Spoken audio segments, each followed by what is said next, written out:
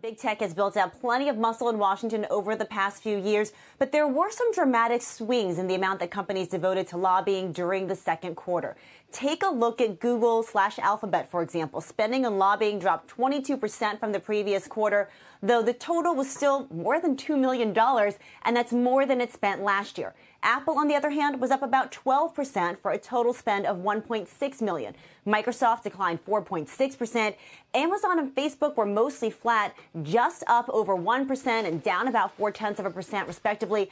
But these guys are the BFDs in DC, deploying almost $5 million each. So what's driving all those dollars? Well, the usual suspects like Section 230, privacy, data collection, content moderation, but there were also some company specific issues. Microsoft wanted to talk supply chain, AI, and COVID relief.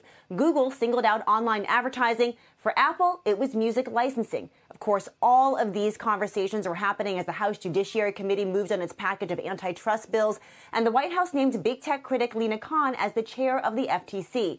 Now, President Biden has issued that sweeping executive order on competition, touching almost every agency in Washington, urging the FTC and the DOJ to ramp up scrutiny of big tech in particular. So, John, one thing is for certain the lobbyists will still have plenty of work for the foreseeable future.